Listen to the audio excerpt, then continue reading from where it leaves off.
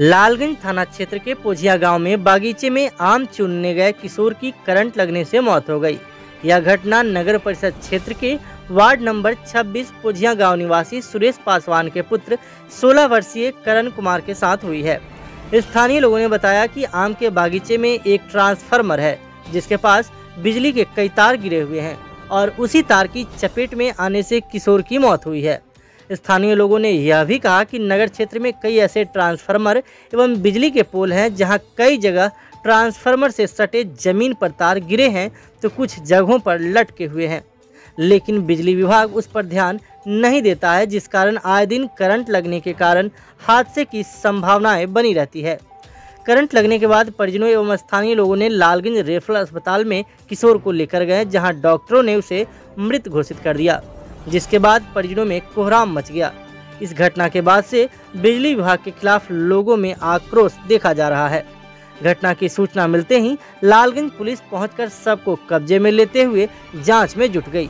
सबको पोस्टमार्टम के लिए हाजीपुर सदर अस्पताल भेज दिया गया। बस तो ट्रांसफार्मर का टाना में सट गया है।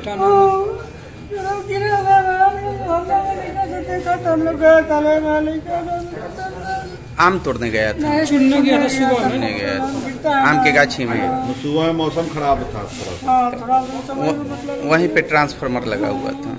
अभी क्या करता था बच्चा? पढ़ता था कितना उम्र है होगा? उम्र कितना है।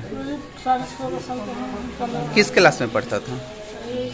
में नाम लिखा था। अभी तो स्कूल बंद हो गया सूचना मिलते ही नगर परिषद के सभापति कंचन कुमार अपने वार्ड पार्षदों के साथ अस्पताल पहुँचे। परिजनों को ढांढस बधाया और बिजली विभाग पर लापरवाही का आरोप लगाया है।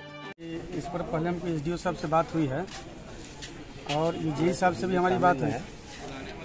तो नगर परिषद की तरफ़ से उनको ये कहा गया है कि पूरे लालगंज में जगह जगह ये कहीं तार जर्जर स्थिति में है।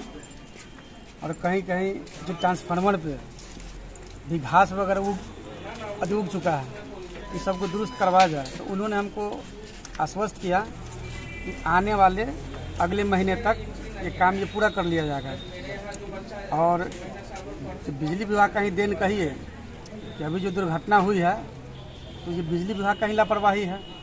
जो एक ये दलित परिवार का, जो सबसे बड़ा लड़का है वो आज के डेट में अपने जीवन से हाथ धोती है। हालाँकि जब इस मामले में विभाग के एसडीओ और जेई से बात की गई तो उन्होंने इस आरोप को सिरे से खारिज कर दिया। उनका कहना था कि विभाग हर पल चौकन्ना है। कहीं से भी तार टूटने की बात नहीं है। हादसे की कोई और वजह रही होगी। इसकी जाँच की जाएगी। जहाँ कहीं से भी, जब भी बिजली से संबंधित जो भी शिकायतें आती हैं, उसे तत्काल ठीक किया जाता है। ताकि किसी को कोई परेशानी न हो।